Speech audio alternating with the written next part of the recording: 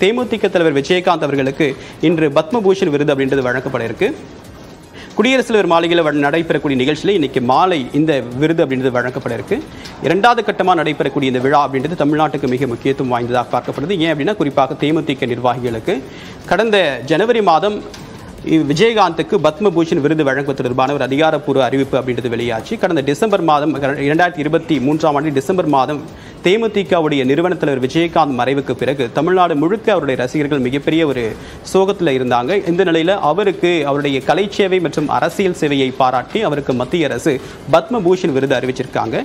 இந்திய அரசுடைய மூன்றாவது மிகப்பெரிய விருது அப்படின்றது தான் இது குறிப்பிடப்பட வேண்டிய விஷயம். ஸோ அவர் கிட்டத்தட்ட நூற்றி எண்பதற்கும் அதிகமான படங்களில் விஜயகாந்த் நடிச்சிருக்கார். தமிழை தவிர வேறு எந்த மொழிகளிலும் நடி நடிக்கல அப்படின்றது அவர் மிக அவர் மிக அவருடைய மிக முக்கியத்துவம் வாய்ந்த ஒரு தகவலாக பார்க்கப்படும். ஸோ முதற்கட்டமாகவே ஏன் வழங்கலை அப்படின்னு ஒரு சர்ச்சை எழுந்த நிலையில் இந்த மாதிரி முக்கிய விருதுகள் வாங்கக்கூடியவங்களை படிப்படியாக தான் எல்லாருக்குமே ஒரே நேரத்தில் கொடுக்க முடியாது.